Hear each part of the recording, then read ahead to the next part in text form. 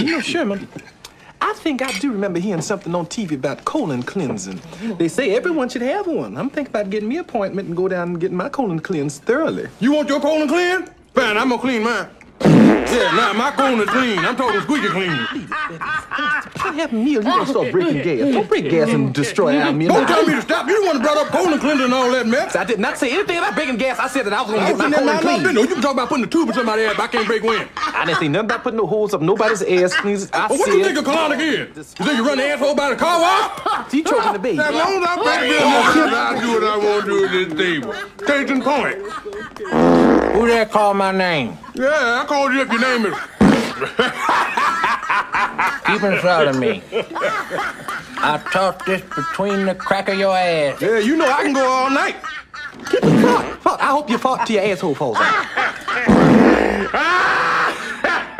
oh, my baby, too. Oh, now, see what you made me do? God damn it, I messed up my thing.